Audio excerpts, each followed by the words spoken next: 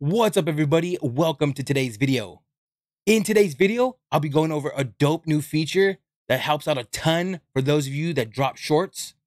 And it also helps out for those of you that go live on YouTube.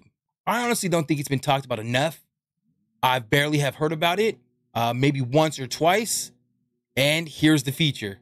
So YouTube just implemented this new feature where if you're watching someone short and they're live, it shows up on their icon. So just imagine you have a short taken off. Yeah, let's say 1K, 2K, maybe even 3,000 people watching the short, and it shows up that you're live. Well, that just brings in new people to your stream. You got new viewers coming in. Now, that's a massive deal that no one's talking about. Now, for those of you that stream on Twitch and post shorts, uh, post short form content to YouTube, I mean, this, if you don't, this is my personal opinion, but this is a great incentive for those of you that don't think you're doing too well on Twitch or even maybe uh, thought about switching to YouTube. This is a tremendous deal.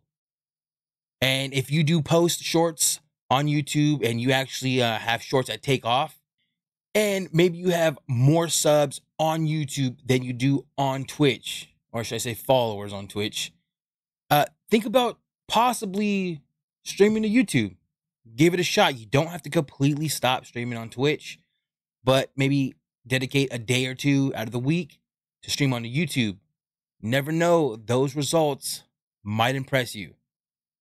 Give it a shot. Hopefully this helped you out. And also YouTube is is on is on the prowl. They're they're on their way to working and put, putting out new features.